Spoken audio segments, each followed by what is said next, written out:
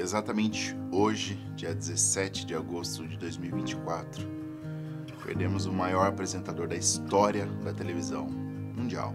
Tá difícil assimilar, tá difícil até falar, mas seria impossível não fazer uma singela homenagem a esse grande ídolo nacional e particularmente meu grande ídolo da comunicação. Então, eu convido você, noventista, a conhecer a trajetória brilhante dessa lenda chamada Cenoura Bravanel. Domingo é dia de futebol, é dia de macarrão e é dia do programa Silvio Santos. No dia 12 de dezembro de 1930, na região da Lapa, Rio de Janeiro, nasceu da união entre o grego Alberto Abravanel e a turca Rebeca Caro o menino Cenoura Abravanel, o primeiro de seis irmãos. Uma família humilde, mas que tinha no berço uma criança destinada a brilhar. O Silvio é o mais velho. Ao todo, nós somos seis: três homens e três mulheres. Desde pequeno, ele e o irmão Leão já se mostravam interessados em fazer seu próprio dinheirinho e ajudar nas despesas de casa. Os dois montaram um pequeno negócio, uma barraquinha de camelô para vender carteirinha para guardar título de eleitor e canetas. O problema é que, por ser um negócio paralelo, volta e meia apareciam uns fiscais por ali querendo tomar os produtos dos pequenos vendedores. O fato dele ser criança e trabalhar ali também era um problema, mas Silvio Santos nunca se envergonhou de trabalhar como ambulante. Na época que eu comecei como camelô, camelô era como se fosse um marginal, era horrível. E eu nunca pensei o que, o que falavam de mim. Eu ia lá e fazia o que eu tinha que fazer. Essa dupla dinâmica funcionava muito bem, já que enquanto o seu irmão ficava de olho, Silvio aproveitava para treinar toda a sua lábia com seus possíveis clientes. E mais do que isso, ele era tão comunicativo e cativante que até mesmo quando os fiscais pegavam um garoto no pulo, ele conseguia reverter a situação só na base da conversa. Inclusive, foi um dos fiscais que aconselhou o garoto a fazer um teste na rádio Guanabara. Silvio foi lá e de cara venceu o concurso de locutores na rádio, mas só tinha 14 anos, então não pôde trabalhar por lá ainda. Faz o seguinte. Procure esse meu amigo aqui na Rádio Guanabara. Quem sabe você tem algum futuro como locutor? E não me volta mais aqui. Claro. O tempo foi passando e quando completou 18 anos e serviu o exército, Silvio entrou para a primeira escola de paraquedistas do Brasil. Logo que saiu do serviço militar, aí sim passou a trabalhar como locutor em várias rádios, como na própria Guanabara, Tamoio, Continental e Nacional. E foi nessa época que ele decidiu adotar o nome de Silvio Santos, já que em casa sua mãe só o chamava de Silvio ou Silvinho, e o Santos, segundo ele, era uma referência ao ditado popular Todo Santo Ajuda. No programa, ele teve um estalo. Disse para um produtor: coloque aí, meu sobrenome é Santos.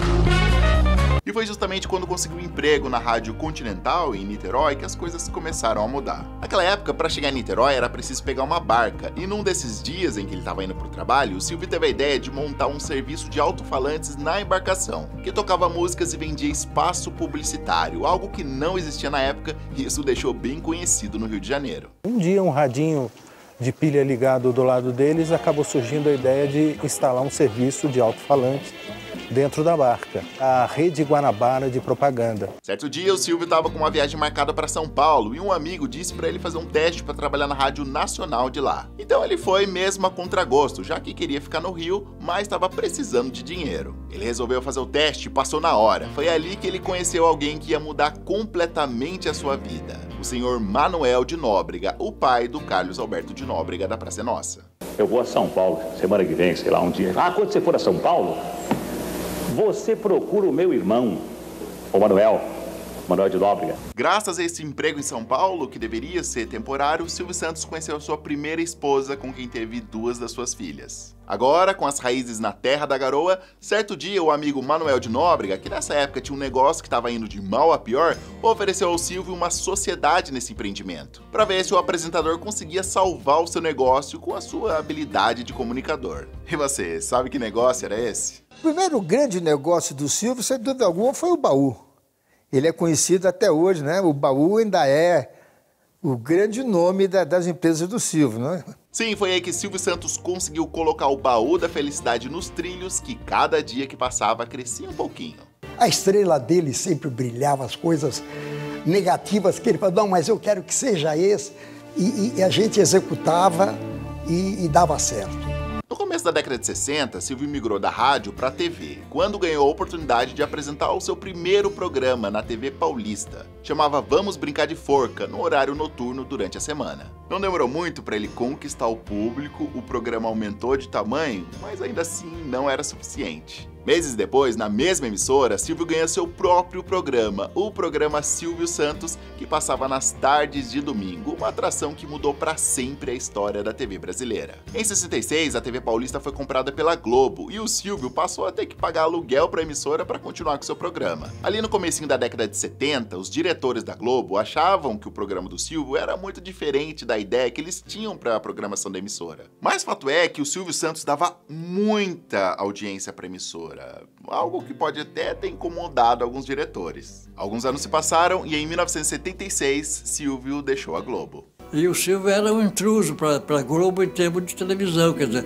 na época ele era mais forte do que a própria TV. Só que quando ainda estava na Globo, ele também apresentava outros programas na TV Tupi e inclusive já tinha adquirido 50% da Rede Record, o que garantiu que mesmo depois da sua saída do Plim Plim, ele não ficasse de fora da TV. Foi nessa época que ele conseguiu finalmente a concessão do canal 11 do Rio de Janeiro, que o Silvio batizou de TVS.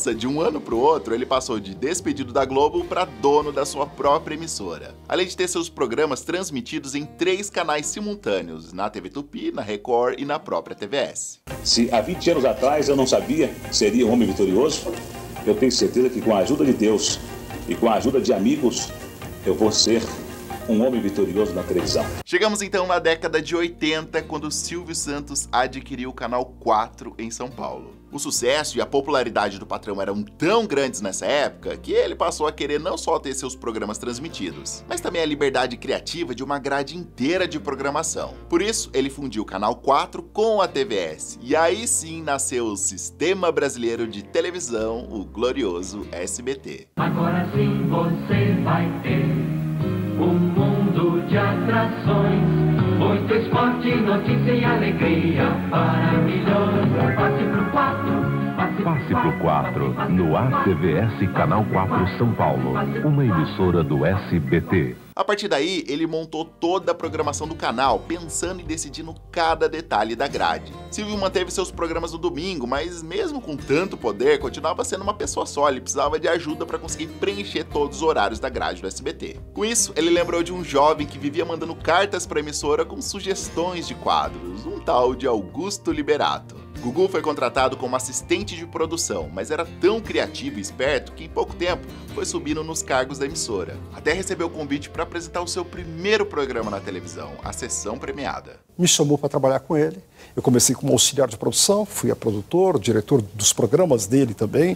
E ele falou assim: Olha, você quer tentar apresentar a sessão premiada, foi uma grande experiência. Boa noite. E começa agora a sessão dupla, que também é premiada. Com o passar do tempo, o Silvio foi criando a cara, a identidade do SBT com programas que faziam sucesso imediato com o público. Gugu também foi se destacando e passou a apresentar outros programas da emissora. Começa agora para todo o Brasil nosso Viva a Noite que traz ele que vendeu mais de 10 milhões de discos, Amado Batista! Silvio foi então se cercando de pessoas talentosas e que realmente gostavam de trabalhar ao seu lado. Foi assim com Lombardi, velho amigo dos tempos da TV Paulista, que o patrão fez questão de trazer para o SBT. Foi assim também com Rock, ex-porteiro que o Silvio levou para televisão. E quando saiu o canal do Silvio, ele me chamou aqui do lado e falou: Rock. Sempre, né? Você, você trata bem das pessoas. Você, você vai ser o responsável pelo meu auditório. Aliás, além de muito generoso, Silvio Santos sempre teve uma sensibilidade, uma inteligência para reconhecer grandes talentos, como a Eliana, Ivo Holanda, Ruth Ronce, Wagner Montes, Celso Portioli e tantos outros talentos. A senhora será premiada, uma promoção Terceiro lugar, segundo lugar é a senhora, hoje é cliente número mil do nosso supermercado. Mas em 1988, o Silvio Santos passou por um problema de saúde bem delicado. No começo do ano, o Silvio sofreu um baque ao ver que piorou um problema nas suas cordas vocais, que ele já carregava há algum tempo. Além de ter ficado muito rouco, com medo de perder completamente a voz, ele descobriu um tumor no olho, que depois de, dos exames mostrou-se benigno. Silvio partiu então para um tratamento nos Estados Unidos, enquanto parte da mídia sensacionalista levantavam hipóteses absurdas sobre a saúde do apresentador, citando que ele estava com AIDS ou com câncer. Ao tomar conhecimento na biópsia de que eu tinha um tumor, a minha reação foi resolver se eu fazia a operação lá em Boston, que é o centro médico dos Estados Unidos, ou se fazia no Brasil. No final da década de 80, o Silvio era uma personalidade tão gigante no país que resolveu ser candidato à presidência da República. Um garoto que era camelô e que começou vendendo carteirinhas para guardar o título de eleitor, com 14 anos de idade, hoje se lança candidato à presidência da República de um país como o nosso, o Brasil. Bom, a gente nunca vai saber o que poderia ter sido Silvio como presidente do Brasil, já que apesar de liderar nas pesquisas, sofreu vários pedidos de impugnação da sua candidatura. E um deles foi acatado pelo STE, que reconheceu a ilegalidade do partido e decidiu por invalidar a candidatura do apresentador. O fato de ela ter sido cortada pelo Tribunal Superior Eleitoral foi um bem para o Silvio e para a televisão brasileira. Agora, longe da política, nos anos 90, Silvio continuou trilhando um trabalho de sucesso na televisão, com uma profusão absurda de novos programas, quadros, novelas e atrações que muitas vezes colocaram a emissora no topo do Ibope. Você quer que mil reais, mil, Eu ou quero- prefere tirar uma fotografia com raça negra? Mil reais. Mas em 2001, um drama abalou a família Bravanel. Sua filha, Patrícia, na época com 23 anos, foi sequestrada e ficou em cativeiro por 7 dias, com um pedido de resgate de 500 mil reais, que foi pago pelo apresentador em troca da liberdade da filha. Depois de sete dias, chegou ao fim o sequestro da filha do empresário e apresentador Silvio Santos. Patrícia Bravanel foi libertada pelos sequestradores de madrugada, perto de casa, num bairro nobre de São Paulo. Alguns dias depois, o mesmo sequestrador, Fernando Dutra Pinto, invadiu a casa do Silvio, fazendo ele de refém, num caso extremamente tenso que parou o Brasil. Depois de muitas negociações e até da visita do governador, felizmente o criminoso se entregou à polícia. Está, portanto, confirmado pelo capitão Luca do GAT da PM de São Paulo, Grupo de Ações Táticas Especiais, que o sequestrador se rendeu. Fernando Dutra Pinto concordou em se entregar à Polícia Militar de São Paulo. E bom, além de um gigante da comunicação, Silvio Santos fez história na TV brasileira ao apostar em coisas que muitos donos de emissoras não deram a mínima bola. Sim, porque foi ideia do próprio Silvio Santos trazer Chaves ao Brasil, lá em agosto de 1984. Um acerto que a gente precisa agradecer o Silvio até hoje. Um garoto que não dá um minuto de sossego. Para de aprontar, Chaves. E é três. Chapolin, Chaves. De segunda a sexta, a partir das 5 da tarde. Foi Cenoura Bravanel também que fez questão de começar a transmitir novelas no seu canal. Tanto as muitas importadas do México que explodiram na audiência, como também suas próprias produções. Segunda, dia 28, estreia Tiquititas. O Silvio sempre defendeu também na sua emissora a programação dedicada às crianças. Desde os anos 80, colocou uma infinidade de programas infantis e desenhos para criançada, que sempre tiveram um lugar muito especial na emissora. Aliás, mesmo nos dias atuais, Silvio Santos era o único dono de emissora que ainda brigava para colocar programas infantis na sua grade, mesmo muitas vezes tomando multas e tendo prejuízo por conta de sanções da lei.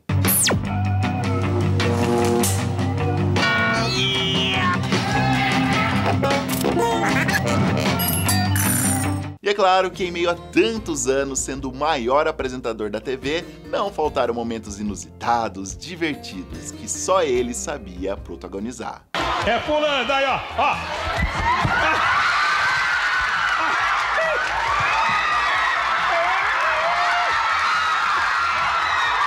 Mais enquanto e.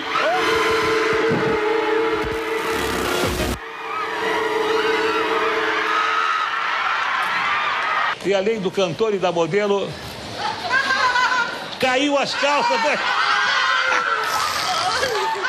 É a primeira. Caiu, caiu. Caiu as calças do animador. Segura!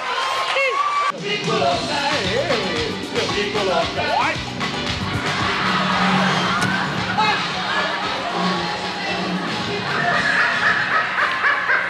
das Se você não tem Netflix na sua casa, passe a ter. Olha. A mensalidade é de R$18,90, creio eu, e os donos da Netflix dos Estados Unidos devem estar me vendo e me devem mandar para mim um, um- um mês de graça. Mas... É selinho, é selinho. Não, selinho não, porque... Ronaldo, se você dá 50 reais para que eu dê um selinho nela, não, eu dou 100 para não dar. Eu dou 150 pra dar. Não! Espelho fiel meu. Tem homem mais bonito. Tem homem mais bonito do que eu? O espelho, o espelho respondeu. Ai, o espelho respondeu. Não enche o Silvio Santos também nos fez gargalhar com suas centenas de pegadinhas pra lá de criativas que viraram verdadeiros clássicos da televisão. É dois papapá, é dois papapá, é três papapá, é três. Definitivamente o maior ícone da televisão, Silvio Santos, é também pra gente um exemplo de garra e determinação. Vindo de uma família humilde, Silvio batalhou dia após dia para se tornar um apresentador brilhante e um empresário de sucesso. Sempre com um sorriso no rosto, Silvio nunca falhou a missão de levar alegria e entretenimento ao seu público durante tantas décadas. Silvio Santos deixa um legado gigantesco na TV, na rádio, na comunicação, mas principalmente no coração de cada brasileiro que luta e batalha todos os dias em busca de um sonho. Para mim, perder o Silvio Santos é como se eu estivesse perdendo um ente querido, mesmo que a gente nunca tenha se visto pessoalmente. Mas de alguma forma, ele sempre teve presente aqui em casa e na casa de todos os brasileiros que tiveram a honra de ver esse gênio na televisão. Os domingos ficam mais tristes, mais cinzas, melancólicos. E com isso, a dura certeza de que a televisão nunca mais será a mesma. É, é difícil, mas eu me esforço para manter a memória do Silvio Santos assim, rindo e nos fazendo rir. E se possível, ao invés de chorar, tenta sorrir um pouco também enquanto se lembra dele, porque eu tenho certeza que é exatamente assim que ele quer ser lembrado por nós. Muito obrigado por tudo. Descanse em paz, Silvio Santos.